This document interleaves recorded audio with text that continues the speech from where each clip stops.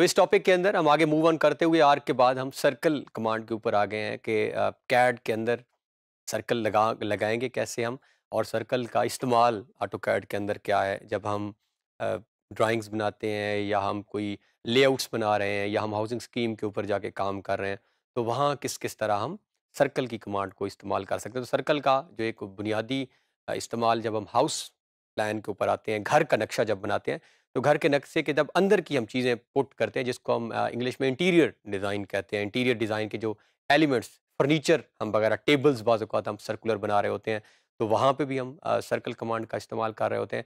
और आजकल हमारे पास जो है वो डोर्स के अंदर भी हम सर्कुलर बटन लगाते हैं, जिससे हम पुश करके डोर ओपन कर रहे होते हैं वहाँ भी। और हाउसिंग स्कीम के अंदर एक बड़ा इंपॉर्टेंट सर्कल का इस्तेमाल है, राउंड अबाउट्स के अंदर। जब आप गाड़ी जा रही होती है और अचानक हम देखते हैं कि आगे एक सर्कुलर राउंड अबाउट आ जाता है, जिससे हम किसी भी एक साइड पे से टर्न करके गुजर जाते हैं।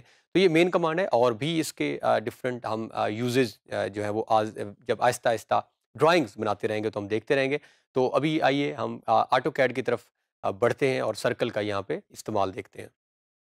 तो ये हमारे पास कैड की लास्ट फ़ाइल जहाँ पे हमने अपना कैड क्लोज की है प्रीवियस टॉपिक आर्क जो हम यूज़ कर रहे थे।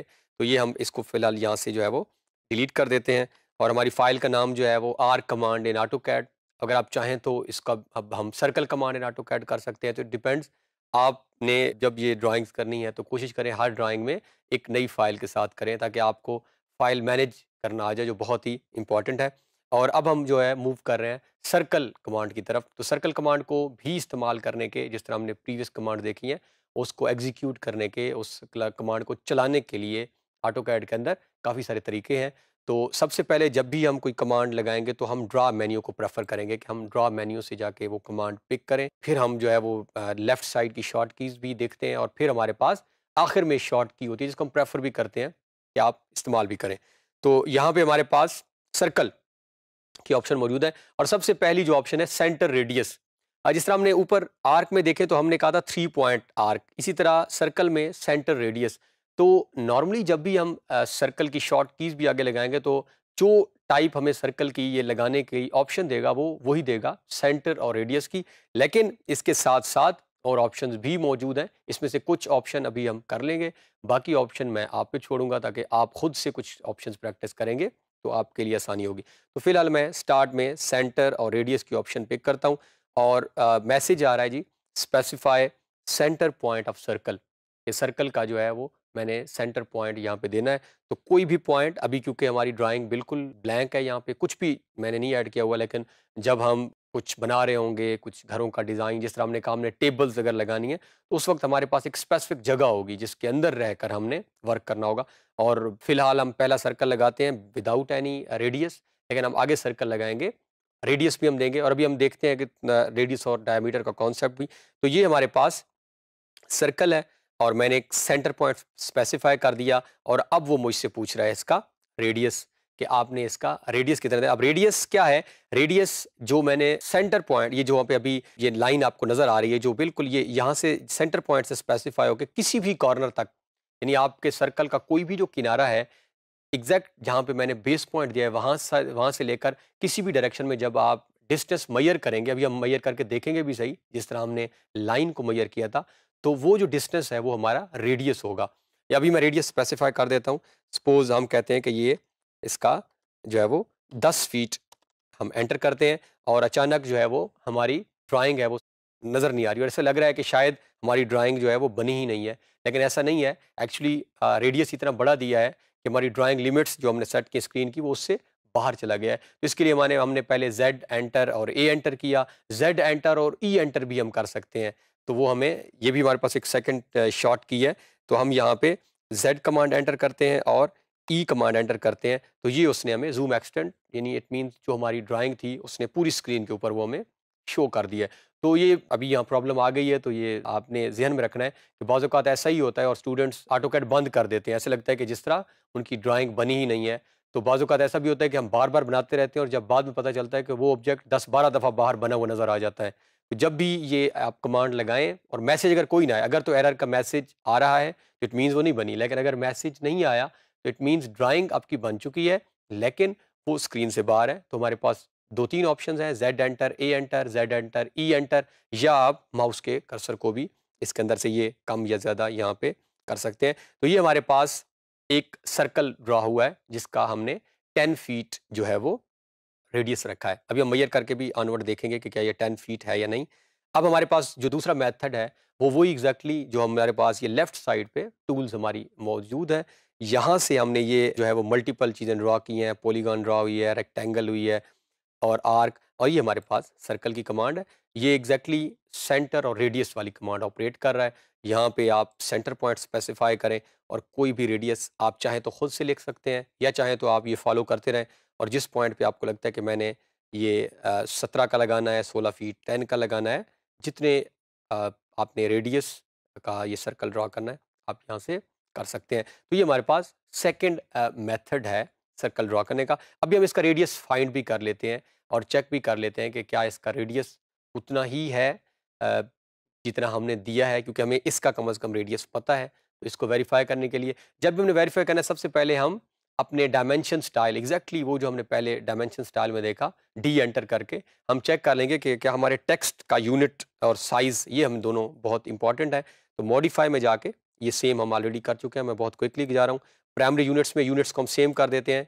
हम वही यूनिट्स रखते हैं जो हमने अपनी ड्राइंग के रखे हैं आर्किटेक्चरल सपोज़ और यहाँ पे हम इसकी प्रिसियन इसको ज़ीरो ज़ीरो रखते हैं।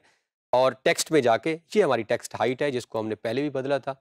अब भी बदल लेते हैं और हम इसको सेवन फीट या eight feet ten feet fifteen feet कर लेते हैं और ओके क्लोज अब हम सेम डायमेंशन के अंदर जहाँ पे पहले हमने क्विक डायमेंशन यूज़ किए थे इसकी बाकी जितनी भी ये क्विक आपको आ, इसके अंदर सब आ, नज़र आ रही हैं ऑप्शन लीनियर अलाइंड ये हम सारे one by one onward lecture topics के अंदर करेंगे लेकिन सर्कल के साथ जो रिलेटेड है उस कमांड को हम वो है रेडियस फ़िलहाल. तो जैसे ही हम रेडियस पे क्लिक करते हैं एक मैसेज आ रहा है सिलेक्ट आर्क और सर्कल तो हमेशा रेडियस जो है, या वो आर्क का होता है, या सर्कल का. प्रीवियस हमने आर्क लगाई भी है तो आपने अगर उस आर्क का लगाने के बाद आपने फाइंड आउट करना रेडियस वो भी कर सकते हैं. इस सर्कल का करना है, तब भी तो हम यहाँ पे सर्कल पे क्लिक करते हैं और ये आप नोट करें. तो जिस डायरेक्शन में आप इसको रखना चाहें, आप टेन फीट जो है वो इसका रेडियस है हमारे पास। अब इसी के साथ एसोसिएटेड हम लास्ट पहले ड्रॉ करने का मेथड देखते हैं और फिर हम डायमीटर की तरफ़ बढ़ेंगे। तो लास्ट जो हमारे पास मेथड है सर्कल का दैट इज़ सी एंटर ये शॉर्ट की है हमारे पास और इसको आपने अपनी नोटबुक्स में महफूज कर लें। इस की को ये बहुत इंपॉर्टेंट है। हमें आगे इस्तेमाल करते रहेंगे। सी एंटर और सेम वही आपको सेंटर आपसे पूछ रहा है और आपसे उसका रेडियस तो जितना रेडियस आपने देना है वो आप कर लें। अब इसके साथ हम दोबारा ड्रा मेन्यू के अंदर जाके सर्कल विद डायामीटर तो हमारे पास एक और ऑप्शन भी मौजूद है, रेडियस और डायामीटर का कॉन्सेप्ट। ये मैं इसी सर्कल से इसको क्लियर कर लेता हूँ। ये जो हमारा सर्कल है, ये जिसका रेडियस टेन फीट है, और हमने कहा रेडियस क्या है, ये सेंटर पॉइंट से, ये जो पॉइंट में नज़र आ रहा है, इस पॉइंट से किसी भी डायरेक्शन में आप मूव करें तो ये डिस्टेंस जो है, ये टेन फीट है। तो इसका मतलब ये हुआ कि ये जो सर्क, ये अगर यहाँ से यहाँ तक टेन है तो डायमीटर यहाँ से अगर हम डायमीटर जो है वो आपका किसी एक कॉर्नर पॉइंट से लेकर किसी दूसरे कॉर्नर पॉइंट तक का जो डिस्टेंस है वो आपका डायमीटर है। अगर इसका मतलब है यहाँ से यहाँ तक रेडियस टेन है तो इसका डायमीटर ट्वेंटी होना चाहिए। हमेशा जो डायमीटर है वो रेडियस का डबल होगा। या हम कहते हैं आर बराबर होता है डी ओवर टू के। तो ये रेडियस जो आपका है वो डायमीटर का हमेशा हाफ़ होता है। क्यों? क्योंकि डायमीटर जो है वो आपका यहाँ एक एज से लेकर इस एज तक का फासला है। जबकि जो आपका रेडियस है, वो सेंटर पॉइंट से लेकर किसी भी एक एज तक का फासला, ये हम फाइंड आउट भी कर लेते हैं। हम यहाँ पे जाकर डायमेंशन के अंदर और ये हमारे पास, पहले हम एक सर्कल लगा लेते हैं डायमीटर के साथ और फिर हम इसको फाइंड आउट भी कर लेंगे, रेडियस और डायमीटर। तो ये हम सर्कल और सेंटर और डायमीटर, ये हमने यहाँ पे सेंटर लगाया और ये हमसे डायमीटर पूछ रहा है। तो हम इसका डायमीटर जो है वो ट्वेंटी फीट रख लेते हैं। अब हम डायमेंशन से जाके, जहाँ से हमने पहले कोई डायमेंशन मैयर किए हैं, यहाँ पे डायमीटर का ऑप्शन है, इस पर हम क्लिक करते हैं तो ये हमारे पास डायमीटर आ रहा है, दैट इज़ ट्वेंटी फीट। अब इसी सर्कल का हम क्विकली जो है वो फाइंड आउट कर लेते हैं, रेडियस कितना है, ताकि हमें आइडिया हो जाएगा कि रेडियस और डायमीटर का आपस में ताल्लुक क्या है। हम यहाँ पे डायमेंशन में गए और यहाँ से हमने रेडियस।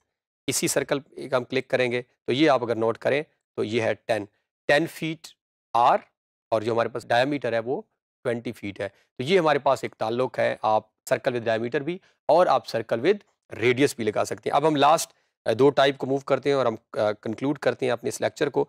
तो हमारे पास नेक्स्ट जो सर्कल की टाइप है, वो है टू पॉइंट और थ्री पॉइंट तो इसके लिए बेहतर है, हम फिर एक लाइन लगा लेते हैं और जब आपने ये लगाना भी कहीं होगा तो लाइन ही और लाइन लगाकर हम आर्थो ऑन करते एक स्ट्रेट लाइन ड्रॉ कर लेते हैं। लाइन क्यों लगा रहे हैं? क्योंकि हमें आसानी होगी सेंटर और एंड पॉइंट फाइंड आउट करने के लिए मिडल भी है।